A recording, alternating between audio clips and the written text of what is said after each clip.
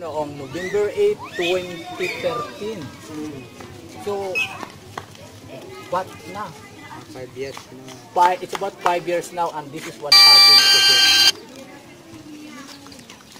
There you have it guys. Thank you for watching of this video and we're going to extend this a little help. Huwag mo muna i-off ha. Uh, we will extend a little help to Jerry so that at least makatulong Wait la, baby, tayo wait la. sa kanyang kalagayan. Okay?